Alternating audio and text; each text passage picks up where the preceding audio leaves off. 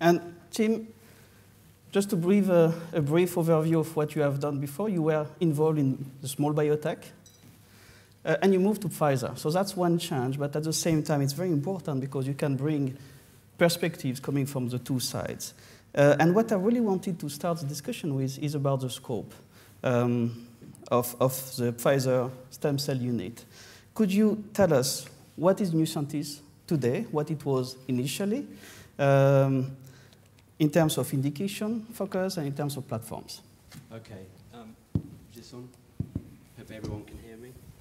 Um, so, so Alan was right. So I joined Pfizer about five years ago, and um, I was the former chief scientific officer of a stem cell-based technology company uh, based in Edinburgh, and then we had some facilities in Cambridge. And um, when I started in Pfizer 2009, it was about a year after Pfizer had made a strategic decision to invest in regenerative medicine. And so it had established this sort of nascent group of people on a bioscience park in Cambridge, Granta Park, where we're still today.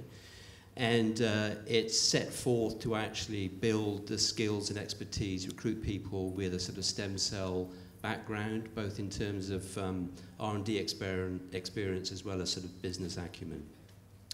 And um, we actually set forth also with a strategy in mind, which was to really evaluate the field, the space, I guess, in a four platform type approach. So the four, platforms at the time were a small molecule based uh, stimulation of intrinsic regeneration, autologous cell therapy, um, allogeneic um, somatic cell based therapy, and um, pluripotent stem cell um, therapy, certainly in terms of pluripotent stem cells, as the sort of the basis, the raw materials for developing a cell therapy.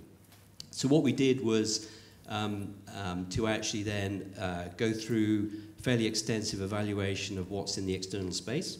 So we identified, you know, good opportunities for collaboration because it was clear that we weren't going to have sufficient uh, time window plus also resources to actually build de novo. So we had to have a sort of hot start, as you might say.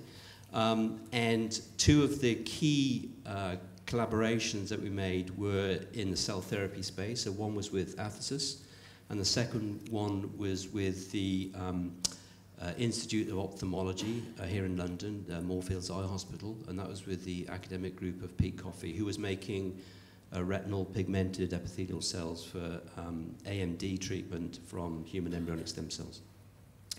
Um, and and uh, so, so we set forth doing also uh, a number of um, key sort of preclinical experimental evaluations with um, stem cells, um, plus then also embarked upon the design and funding and implementation of uh, this key study that was the topic of initial conversation this morning, which was the phase two study for ulcerative colitis with Athersys. Um, and perhaps you want to come back to that in, in subsequent questions. I think, I think it's important also, though, just to consider you know, the broader expanse, if you like, of stem cell approaches within Pfizer.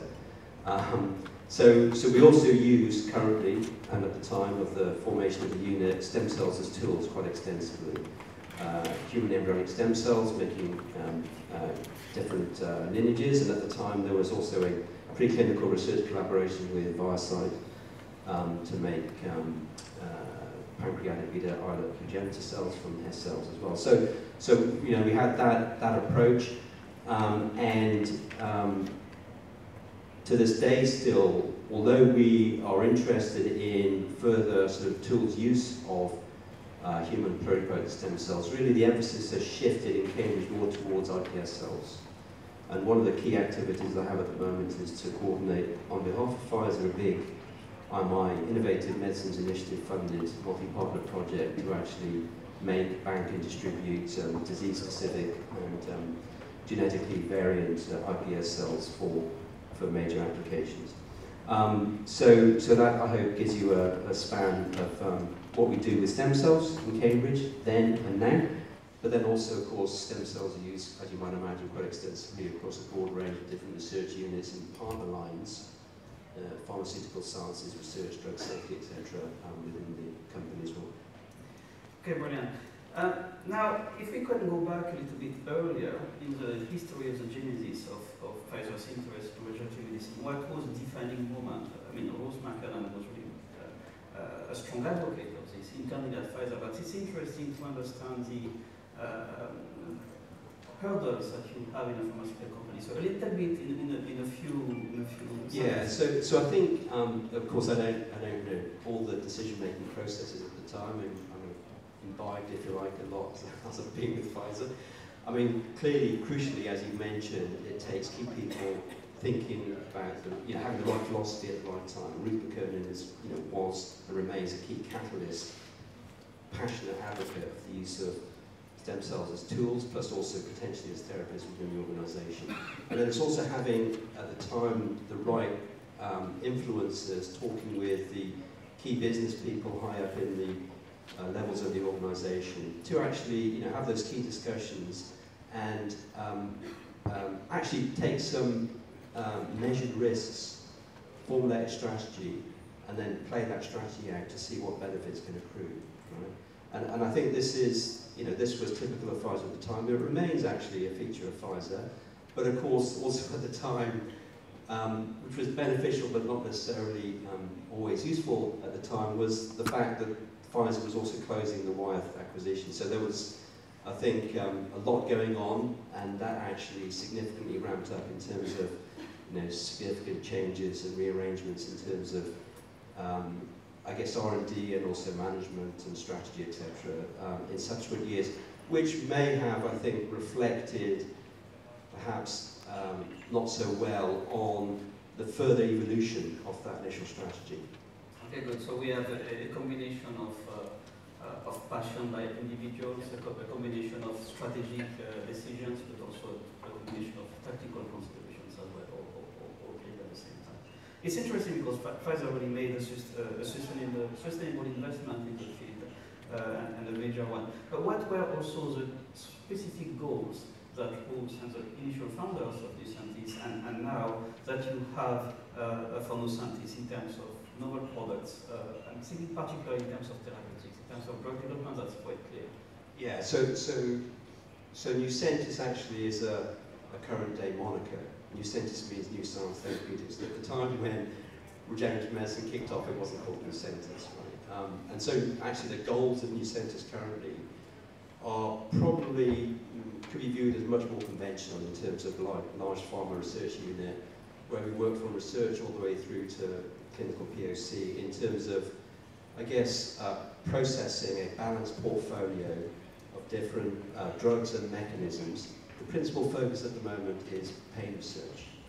Okay? And, and we have a key expertise currently um, across our two sites. We have a site in Cambridge, we also have a site uh, in, in North Carolina, which was the former Icagen uh, biotech company.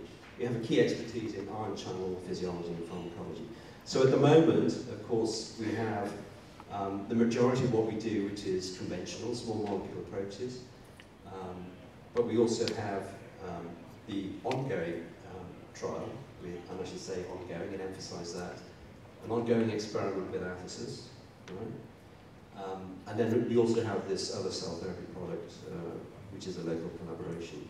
But the majority of what we do is, is small molecule based at the moment. Okay. So I said it would be fair to say that Neusentis is, is a center of excellence in everything that is emerging technology and linking essentially those to the rest of the greater Pfizer organization.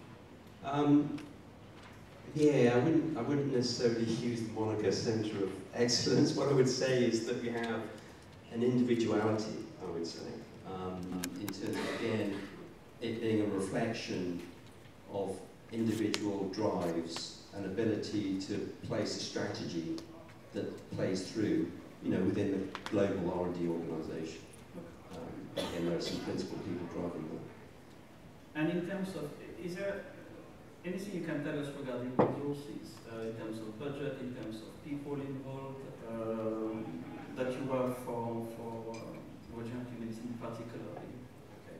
So, so again, there was the past and there's the current. Um, you're asking the wrong person in terms of research topics. Let's, let's but, let's, but in terms of then, when regenerative medicine started, it grew rapidly actually to a modest group of uh, scale of people in terms of FTE. So it's probably at its peak was um, I don't know 30 to 40 folks, you know, who are doing R&D with a strong sort of stem cell focus.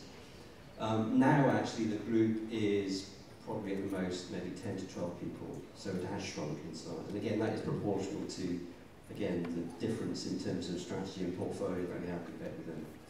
Um, yeah, I mean, I, I wouldn't know actually what that accumulates to uh, in terms of research dollars spent on stem cells, importantly, within the wider organisation, which obviously encompasses Neusentis. Yeah, fair enough. Uh, one question regarding your, your reach towards uh, the academic community. How do you plan to uh, accessing technologies or accessing leaders that can help? Yeah, so, so when I first joined Pfizer, one of the key remits I was given was to um, do technology evaluation. So we needed to you know, develop, and we did this de novo, develop you know, tools and mechanisms to rapidly, well, literally within days, um, evaluate new opportunities that were coming into our email in trays. Um, so I sort of coordinated an activity where we were uh, triaging, um, eva well, evaluating opportunities, technology assessments, if you like, technology as well as potential clinical assets, um, prioritising them, triaging them, and then escalating them for decision making in the organisation, so within the research organisation. And then critically, as with any large pharma unit, research unit, it needs to partner with the business unit. Um, so where appropriate in terms of if it was a relatively middle to late stage potential opportunity, then we would need to have immediate dialogue with the business unit. Um, so the business units typically would then step in to work with the research unit to fund you know, phase three trials and beyond through to market approval. Um, and, and actually this, this brings or raises another interesting feature, I think, about the um, cultural difference, I would say, between biotech elements, components for this community and large pharma culture or philosophy.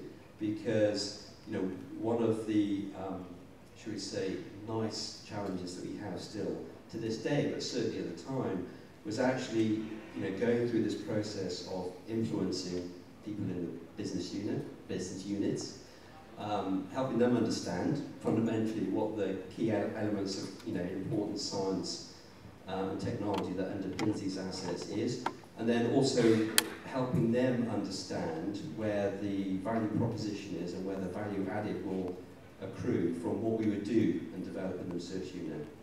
And, and it was, and it remains a challenge, right? I mean, it's, it's actually, uh, these, are, these are people in the business units who we talk to, which are you know, very familiar and they have their um, yardsticks or measures for assessing value, evaluating you know, chemical assets, drugs and biologics, but this is very unfamiliar territory in terms of living cells and tissues as a therapy.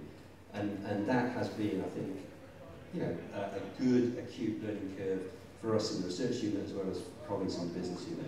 Okay, great. So essentially, your Neusentis plays that role of interface with uh, rest of academic community to, to bring on board uh, various uh, technologies. Now, let's go back obviously to, to a question that everybody has regarding partnering. Uh, particularly, you, you have that trial with cells, which is very exciting with UCL particularly. You have the ongoing trial with Athersys. two questions. The first one is really, first, do you plan to increase the number of strategic alliances in that field? uh, over the years, right?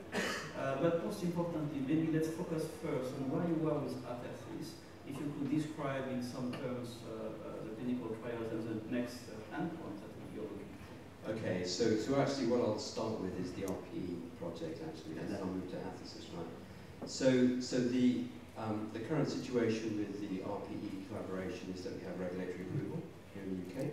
Uh, the product is being manufactured um, at this moment in time. We anticipate soon to get into you know, the first patients.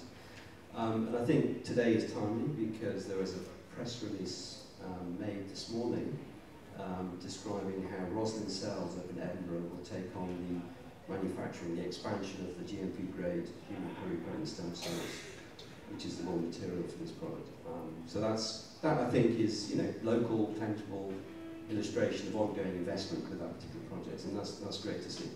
Um, with respect to the uh, ongoing Athersys collaboration, so, so there was a number of interesting comments made this morning. And of course, you know, you have to you have to view the context in which those comments were made. Um, but this is an ongoing collaboration, it's an ongoing experiment. Um, we uh, still believe in, in the partnership that this was um, a pretty well designed you know, clinical um, study. Uh, at the time when we entered into it, it was a, uh, a leading uh, uh, product in its category. So the good combination of two factors there. Um, you know, I think the choice of indication was because Pfizer was very comfortable. It has a pedigree, in terms of successful trial deployment with respect to Crohn's and ulcerative um, colitis. In fact, currently it probably has three or four separate mechanisms that it's actually testing in advanced stage clinical studies for that indication. Um, so, so I think you know we need to bear that in mind. So it kind of makes sense at the time, still makes sense. Um, and you know what? So, so what the current situation is is actually quite positive. Of course, you know when it was announced, there was disappointment from both sides in terms of what what the um, what the uh, first analysis, the interim analysis of the, the data set was showing in terms of the uh, active arm versus placebo. Um, but that was just um, from analysis of data from the eight-week follow-up, you know, following the last dose. Um, what is currently ongoing is analysis of data from a 16-week follow-up, and actually, which would include patients, a sub-cohort of patients which have received a repeat dose of the product. So, so while of course at the time it's disappointing that there wasn't a stronger effect seen, um, you know, I think the um, you have to, you know, I guess reserve final judgment until the final data set is reviewed and and an announcement is made. But I think also there are many positive features of, of what has been done, right? Because again, there is a strong partnership, you know, many key fundamental features that you anticipate to see in a strong alliance between pharma and biotech existed and still exist at the time. So very strong science culture, very strong science interaction, um, uh, acute technology assessment, precise technology assessment, and then also good clinical design and execution. Um, and um, and uh, you know, I think that um, you know, what we're hoping to see is um, where this will then leave the organisation. You know, once that final data set and analysis is performed, in terms of that you know key next decision step, right? and one can imagine that there are a number of options there, but right. at the moment it's you know, definitively not possible to say because this is again um, an ongoing experiment. Okay, good. That, that's excellent news. I mean, it's very important to have Pfizer obviously continue to be engaged in, in stem cell therapeutics. It's, uh, it's clear that nobody ever said that uh, putting a clinical trial is ever easy. There are always surprises along the way, and, and that's part of what Pfizer can bring in terms of. Uh, so, so actually, I forget, I forgot a very important point. Also, what the initial data analysis has demonstrated is that the product is safe and tolerated right? Which was, you know, which is a, a key a key feature for big pharma to understand. Right. Uh, and, and as I was mentioning earlier this morning, there, uh, we need to think of technology as curves that we have to, to, to go through to bring the right uh, efficacy. But essentially, the clinical trial is still ongoing. There are still some good hopes at Pfizer. This is an experiment, uh, and, and you have the right, through the partnership that you have in place with others, is to expand to additional indications, to change the number, uh, the doses uh, of cells and, and, so you have a lot of latitude essentially to make this work. Um, another question that I think probably will interest uh, the entrepreneurs in the audience is is Pfizer engaged in, in creating startups in fields of strategic interest and obviously particularly in, in regenerative medicine? Um, yeah, I mean, I think generally for any organisation of this size and dimension, it has a multitude of different um, sort of business opportunities that it can play out. You know, from R&D collaborations, licensing opportunities, through to uh, venture investment in early stage startups. Um, you know, where colleagues in the venture investment group obviously would have different motivations for undertaking that, you know, in terms of return on that initial investment. But nonetheless, um, you know, their, their landscape is very broad, you know, so they would look at a broad range of technologies and um, new spin-outs, new codes, etc. Um, and, and also, you know, although I know less about that, I can well imagine that an organisation, again, of this scale has um, um, an opportunity to consider how it might actually spin out companies itself. So, uh, and the process to, to engage Pfizer on startups is go through Neusentis Well, so actually, no, we have a specialised group of people in a different part of the organisation. Um, it's actually, it probably is best viewed as being initially seeded and assessed in what we call the External R&D Innovations Group.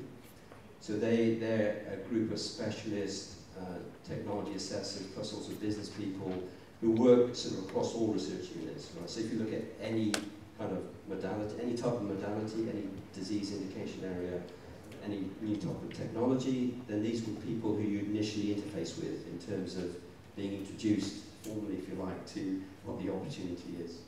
Um, and they would, you know, make the decision, I guess, how best to siphon, if you like, the opportunity into the relevant part of the organisation, whether it's, you know, very early stage, but you know, tremendously exciting, and that goes into venture investment, versus something which is, um, you know, a validated technology, but is yet still preclinical in stage, then you know, there's an opportunity to bring it into research unit. If it's, if it's, you know, there's already a good quality phase two uh, clinical data set on something, then that would typically go straight to the business unit. So changing bracket a little bit and related to, to uh, startups, but uh, the fundamental uh, IP that is necessary is what is Pfizer's view regarding open innovation or participating in consortia uh, for stem cell therapeutics? Um, yeah, so so first of all, it's very positive, right? And actually, um, here in Europe, Pfizer has a rich heritage of being involved in non-competitive, multi-partner European Union funded research. So we have a lot, actually quite a large portfolio of IMI projects. Um, to my knowledge, we don't have any kind of smaller scale European funded projects that we're working, but certainly the IMI, the Innovative Medicines Initiative portfolio of projects, we have a large number of those that we're involved in. Um, so we're clearly comfortable in terms of the philosophy and the mentality that was required to actually work non-competitively with other stakeholders in, in whatever sort of you know field is the subject matter of that particular project. Um, now let's get closer to the product. What do you think is uh, uh, are the most critical success factors for regenerative medicine uh, from the point of view of a big pharma? Yeah, so so I, I, I think you know it's kind of um, obvious to say because it's already been said so far this morning. But issues of you know cost of goods, the ease of manufacturing, the efficiency of manufacturing. You know, um, I guess questions still reside as to Um, how long it will take, you know, probably optimistically it will happen, but how long it might take to reach a point in terms of how these products are made, which is similar to the um, scale and, the, and efficiencies of making pills or biologics, right? in terms of you know, the cost of goods and the margins associated with those. So, so those are some of the factors, but then also, you know, a key area of uncertainty for a large company is the issue of, again, you know, who's going to pay for them and how they're going to be, I guess, eventually deployed in healthcare services globally, right? Um, and, and obviously, again, firmly believe, support, endorse what was said this morning about the interconnectability, if you like, between regulatory approval and, and reimbursement. And actually, that's clearly one of the benefits a partnership with a big pharma can, can bring to a, to a growing company, which is also competencies in manufacturing, in marketing, in regulatory, and all the different perspectives that make a product, and thinking also in terms of formulation and logistics, where you have experts at, at, uh, at those big pharma like Pfizer, uh, and, and, those competencies are clearly not always present in, uh, in biotech. That's true. So again, and I think I'd probably use the example of the collaboration we have with Athersys, so both sides have learned a lot from this collaboration. Right? So you know, we like to think that we've uh, provided you know, how to do uh, a well-designed clinical study and execute it at scale in terms of number of patients. You know, we hope that we've helped Athersys along in terms of that. And then also, likewise, we've learned a lot from Athersys in terms of, um, I guess, how they've approached the development of their multi-stem MAPC technology into multi-stem. So, so I think so I think it's been a you know, strong mutual understanding, and, and I think it will need to continue as such uh, going forward to actually accelerate the um, development of this field, living cell and tissue therapies, um, for a while yet. So we, we do have to anticipate further bumps in the road. I don't think these are going to be major showstoppers, but there'll be bumps in the road. And, um, and I think also that nurtures a lot more creativity, so people will have to think differently uh, and probably harder about how to actually you know, reach those goals in terms of um, making this an industry of you know, what we're now familiar with in terms of therapeutic antibodies. Right. And if you agree, we're going to take a, a question or two from the audience, but before we reach that point, and I say that so you can prepare a question that you have, burning question that you have for Pfizer. Uh, question about, because we talk about passion, we talk about the people behind creating a new regenerative medicine unit at Pfizer, starting the project.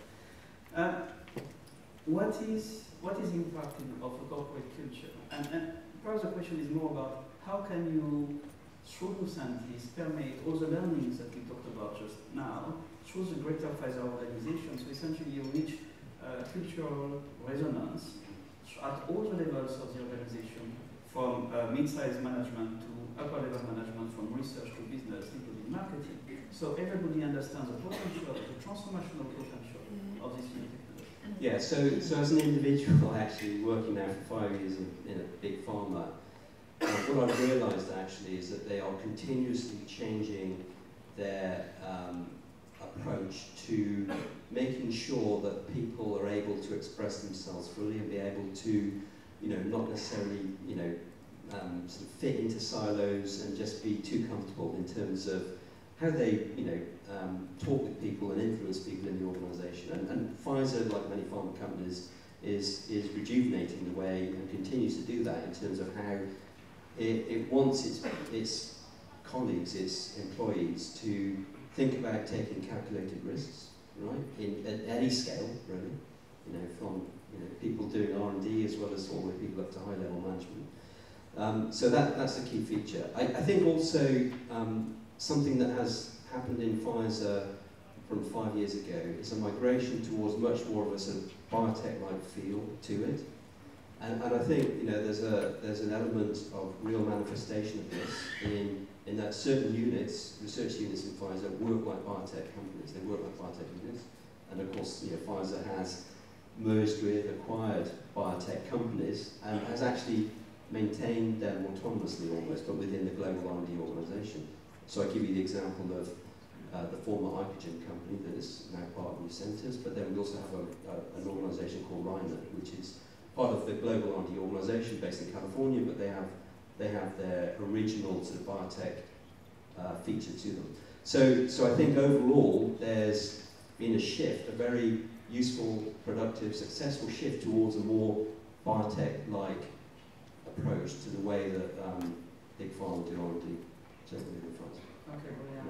So it's, it's, it's critical to understand that pharmaceutical companies are, are very dynamic companies, in fact, and the way pharma are doing business has changed over the years if we recall in 2000, before 2000, it was uh, not inventing, invented here simple.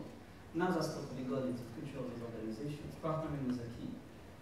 And registered medicine companies, biotech companies have transformational products, right? So the thinking, and I think it's important to realize that what Tim has explained was the thinking of a company like Pfizer has significantly evolved since five years ago and more open essentially to partnership. But there are quite a few others as well, including the fact that we need to have product is market.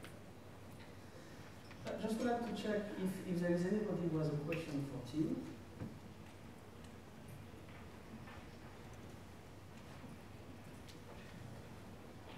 That's great. So everyone completely understands what I've been saying. That's fantastic. yes, it seems so. I've done my job. Oh, there's one.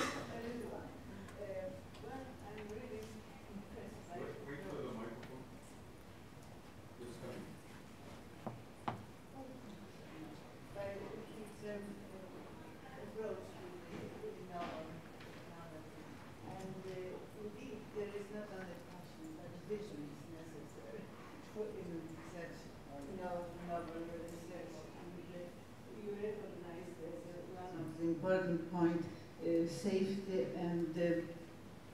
actually safety and the application.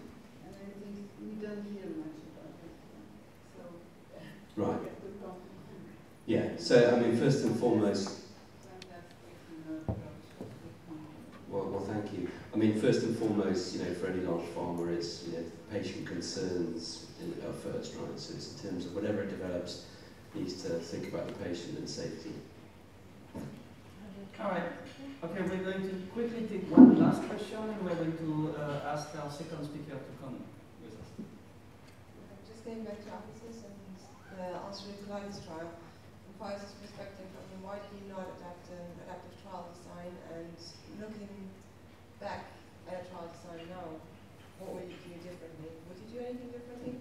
Um, that's a good question, actually. You're probably asking that of the wrong person. So, so you know, I can speak about what we've been doing and what we are doing, but I, I haven't been part of the clinical design team. So, you know, undoubtedly those sorts of questions were asked at the time, right? Um, and at the time, the best decision was made in terms of how to structure the design.